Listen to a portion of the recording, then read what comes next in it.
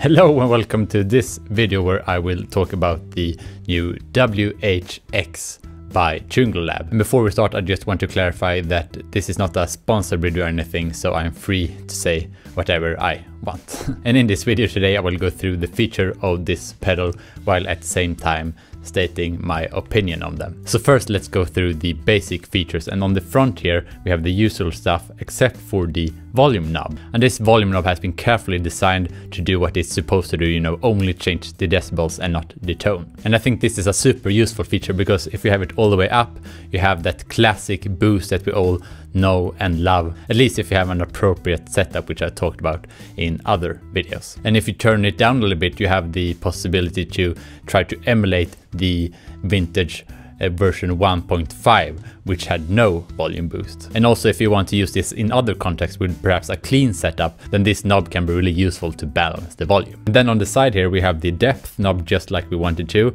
and the dry output which as stated on the website no one really uses but good to have in order to be faithful to the original. And then just like the original we have the guitar and bass switch. And I really love the position of this switch. First of all I think it looks really good and I also like that it doesn't stick out on the side because then I feel like it's more vulnerable to damage and you would also run the risk of flicking it without you noticing perhaps if you put it in a bag or something. And me personally I mostly use the guitar mode so I think the level of accessibility is just perfect for my needs. And now we get to some more interesting features and the first one is that the enclosure is actually made of 3D printed ABS plastic. And I had to admit I never really understood why the version 1 was in plastic, but after trying this one in plastic for the first time, I really feel like I start to understand it. You know, the feel is completely different. It's kind of hard to explain, but it feels like you have better control of the pedal and it feels like it interacts with the playing in a whole different way. And I should also add that since this is in ABS plastic, it's a lot more durable than the version 1. And another aspect is that this is super comfortable to turn on and off. And if I do this thumb test here, I can easily turn it on and off just with my thumb. And if I try to do that with a metallic enclosure version, I will literally break my finger.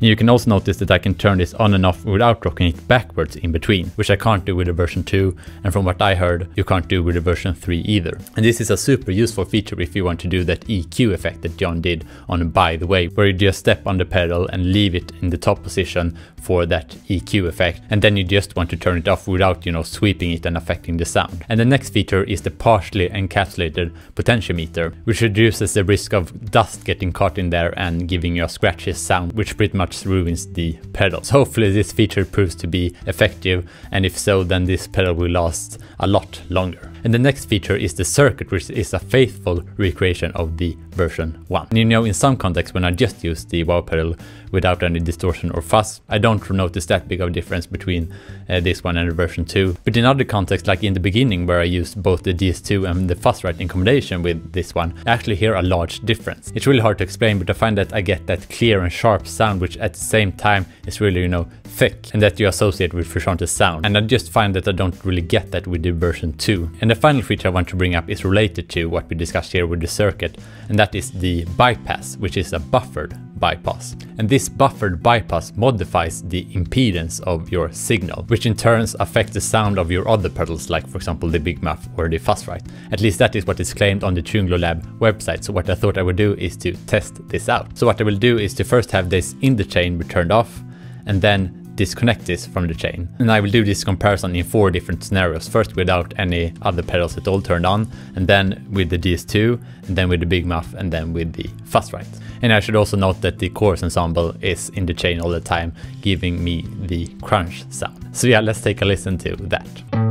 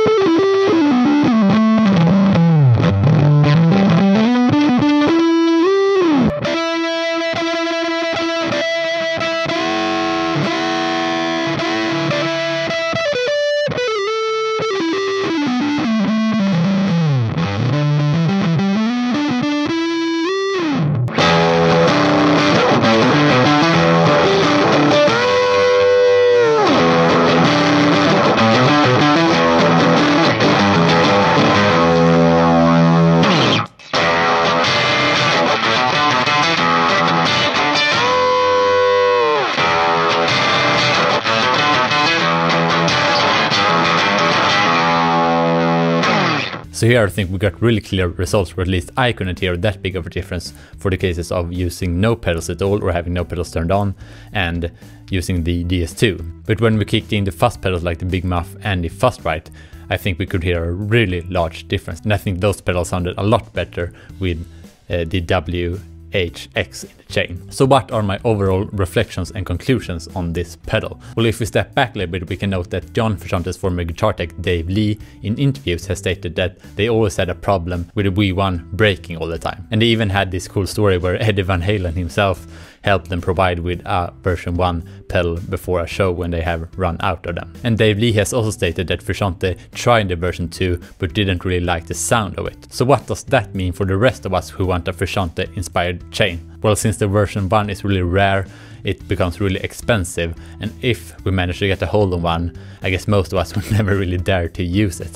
so that means that most of us have chosen another option like the version 2. And because of that we have had to compromise on the sound and the feel that we can get. And I believe this pedal has incorporated all the pros from the version 1 while solving all the cons from it so that we no longer have to compromise. And yeah, that is the video and as a thank you for watching all the way to this part, I want to share a little bonus. So a couple of days ago I did an Instagram post where I shared my progress on making a bass backing track that I thought I would use to demo this pedal. But when I tried jamming to it, I didn't find that a wah wah riff fitted to the track. And I got a response from Yesyuta that he could jam on it just for fun. And that made me really happy because I have always been really inspired by his playing and I think what he did in this jam here is just as inspiring as everything else that he has done. And yeah, with that said, thank you very much for watching. Leave a like for the algorithm and comment what you think on this pedal and I'll leave you with this cool jam with Jess Utah. So yeah, see you in the next one.